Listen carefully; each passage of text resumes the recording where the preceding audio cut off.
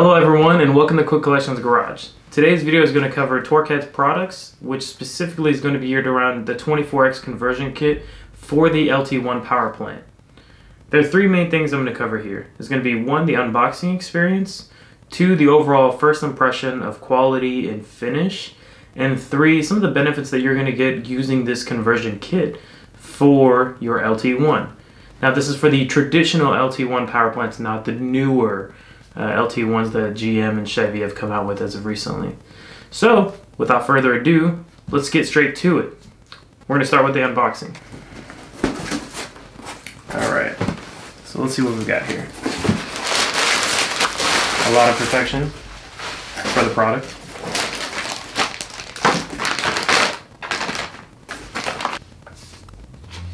Instructions, that'll be helpful.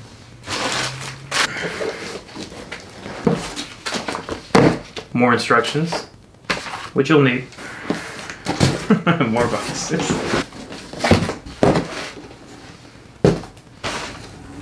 Oh wow. The Shorty alternator kit, which I opted to buy. Oh, and the throttle body topper. And the tuner, uh, which I opted into to do for the power plant overall, for those of you that don't know, uh, this LT1 engine is actually in is has been swapped into another vehicle, which is a 1995 um, 240SX with a Boss conversion. So let's let's keep unboxing and, and figure out where we, where we stand from a quality and finish perspective.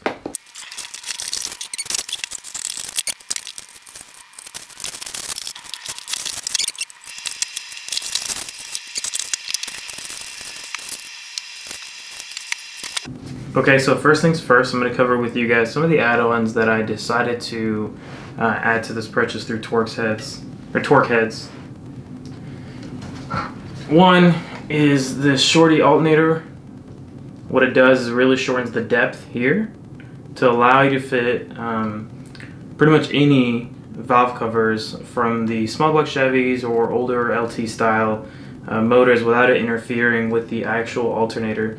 It's a big problem for the LT1 power plants when you're looking at custom applications from valve cover perspective, whether you want to run AN fittings or you just want to have a nicer uh, valve cover on your LT1.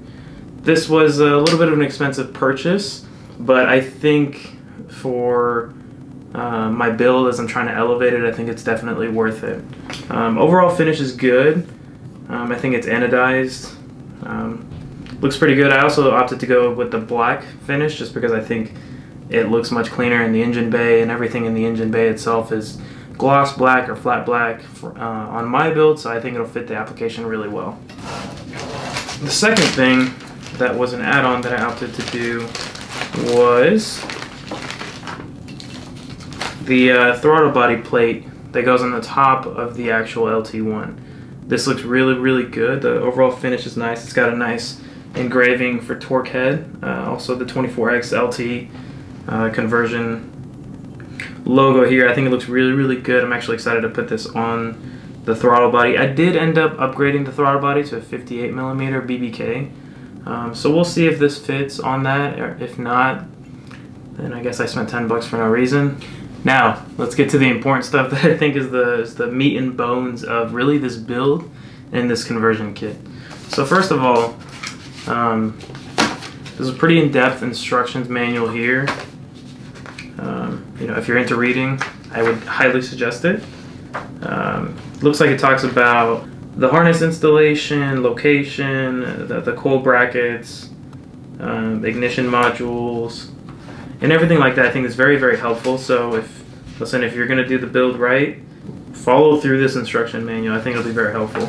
Also, what I do really like, and I'm just noticing now, is that it talks talks about if you know you're having issues, then check these specific things. So there's one that says car crank, but does not start, and it gives you the cause of that, as well as what to do to fix that. And then if there's fuel injector is not firing in the right order as well. I mean, this is really, really helpful, actually. I'm actually, to be honest, really impressed.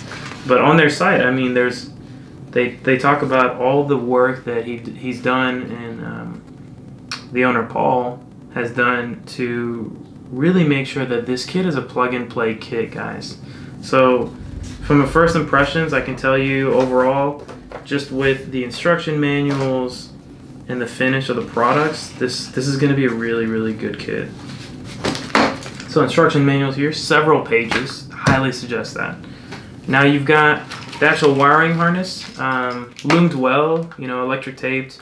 Not the fanciest of loom and not the best job on the electric tape. Um, but uh, I guess it is what it is. Uh, what I do like is that he did label. Um, he did label them, so PCM, um, crank sensor, they're all labeled, which is very going to be very, very helpful when one, you want to know the orientation of the wiring, as well as two, just understanding what goes where, what connects to uh, what sensor, adapter, ECU, or whatever it may be. So that's actually really nice, uh, really nicely done.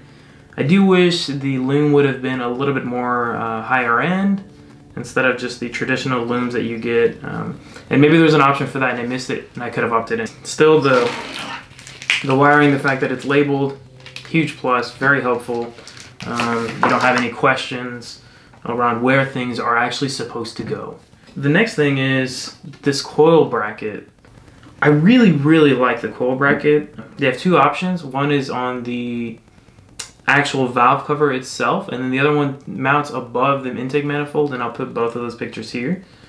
Um, but my concern was if I put the one on the valve cover or sorry the one on the intake manifold on and use that kit that there would be a lot of uh, spark plug wires running everywhere and I just didn't want to do that I wanted to limit that. In my opinion the valve cover setup what it actually will enable you to do is run this to the spark plug in a shorter distance, which means less wires. And that's the route I went. I think that's the best choice. But the bracket on the intake manifold does look really, really nice. To be honest, the LT1 intake manifold's kind of ugly. So either way is, is a good choice. Uh, I wouldn't say one route is better than the other. But this is the route I went, and I'm really happy with the overall finish here. Um, I think quality looks really, really good. Um, the connectors look good. Again, loom is good you know, not overly impressed with um, the electrotaping and just overall, but it's still really, really good. And um, this product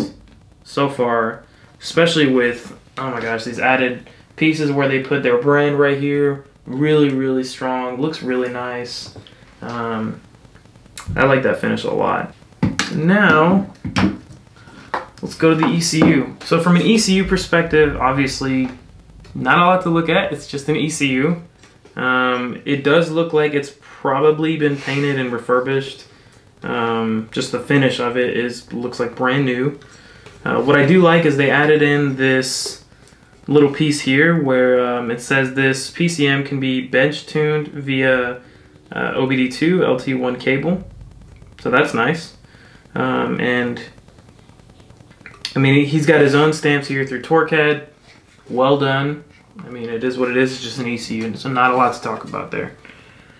What I did also opt in to do was the custom uh, base tune from uh, the TorqHead's website. It comes with an HP tuner. Um, I'm going to assume it's already preloaded in there. You know, I gave him the full specs of my build. Interested to see how this works. I'm sure um, we'll find out soon. But overall, you know, HP tuner, obviously very reputable and easy to go with the ECU.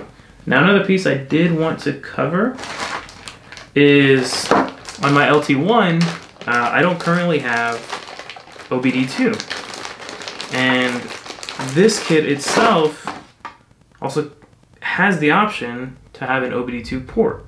Very helpful when you want to tune the car, anything, understanding diagnostics. I mean, OBD2 is just the technology to have. OBD1 is old school, um, very inconvenient, and so from an overall perspective, I think this was a really good choice. When you pair the new ECU with this HP tuner and the ability to have it to have OBD2, I mean, you can't go wrong with that.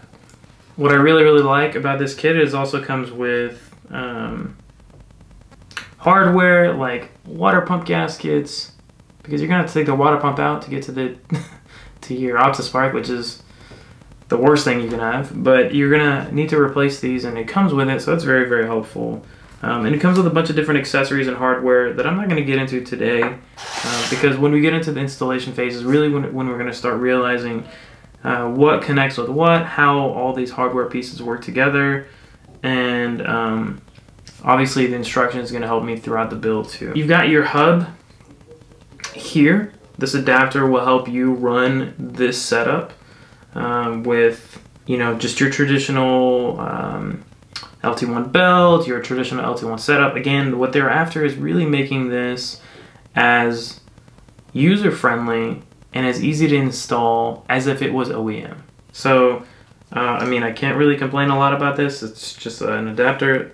Overall finish looks really good. Um, nothing negative I can say here about this. Now, as we get to the spark plug wires, um, you know, from a first impression standpoint, looks like spark plug wires. It's good MSD uh, wires here. MSD 8.5 millimeter superconductors. I mean, it's it's good. I think overall, not bad. Um, I'm a little surprised that it's not already finished for you, um, especially since from the, I mean, this connects from the valve cover brackets to the actual spark plug.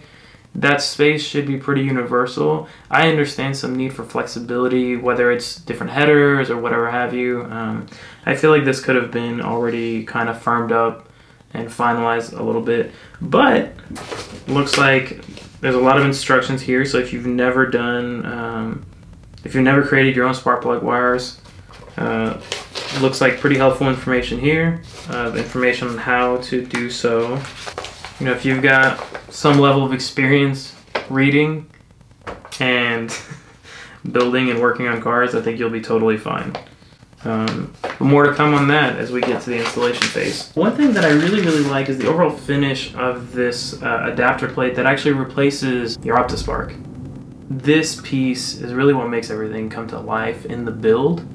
And on the back side, it's got the splines just like your OptiSpark would, um, and it bolts right up. You've already got the sensors pre-connected here. Really good finish. I mean, this is high quality here. The main thing I wanted to cover with you guys was the unboxing experience and the overall quality of the product and finish of the product. And honestly, I can tell you from an unboxing experience, everything was well packaged. I wasn't really concerned about anything getting damaged. Um, the only thing is, you know, you'll you'll get the HP tuner from a different company. You won't get it from Paul, so expect two different shipments. You probably won't get them on the same day. I'm doing it on a V8 swapped car.